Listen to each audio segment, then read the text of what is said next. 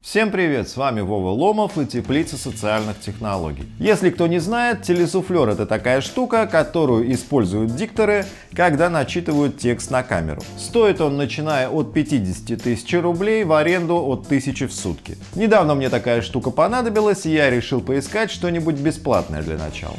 Нашел. Правда, для комфортной работы вам понадобится планшет. Телефона тут недостаточно, слишком маленький.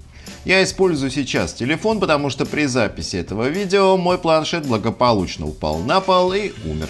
Так что планшет крепите жестко. Просто двустороннего скотча тут недостаточно. Я ставил планшет прямо под объективом, выше, чем сейчас стоит телефон. Вот съемка с суфлером. В общем-то не видно, что спикер смотрит вниз. Кажется, что в объектив. С конструкцией, я думаю, все понятно, теперь приложение. Есть несколько платных с какими-то дополнительными функциями, нужны ли они – вопрос. Я нашел бесплатно и мне кажется его более чем достаточно. Называется Pixar Teleprompter. Вот он сразу говорит, что любой текст можно удалить или изменить, так игриво покачивая файлом. Соответственно, впоследствии, сдвигая его вправо или влево, вы сможете его или удалить, или отредактировать.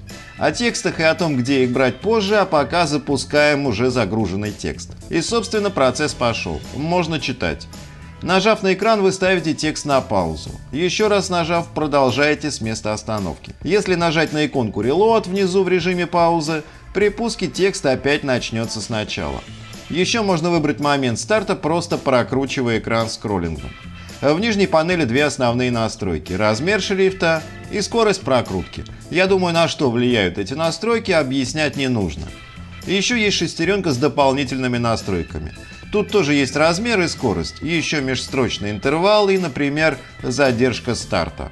Текст запустится не сразу, а спустя, скажем, 5 секунд после нажатия. Еще ряд настроек, ну тут все понятно, благо, что все по-русски. Вот, например, можно отключить маску центральной области. Мне лично с маской нравится больше. Все, возвращаемся назад, и вот у нас текст стартует с задержкой в 5 секунд и без центральной маски. Честно говоря, более простого и понятного интерфейса придумать просто невозможно. Теперь, что касается добавления текстов. Мне кажется, тут тоже все запредельно просто. Нажимаете на плюсик, добавляете либо новую папку, в которую потом сложите тексты, либо, собственно, сам текст, который будет лежать в корне. Название и текст. Можно вбивать прямо здесь, но понятно, что так никто поступать не будет. Поэтому либо копипаст, либо можно нажать вот на эту иконку типа «Загрузить» и найти файл либо на самом планшете, либо, например, на Google диске. Ну, точнее, на облаке, которое подключено к вашему планшету.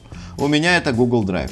К сожалению, док он не подхватывает, я сильно не экспериментировал с форматами, по меньшей мере TXT он вполне видит, так что используйте TXT. Элементы форматирования он также подхватит. Открыли файл, придумали название, нажали «Сохранить», а вот наш файл появился, можно запускать.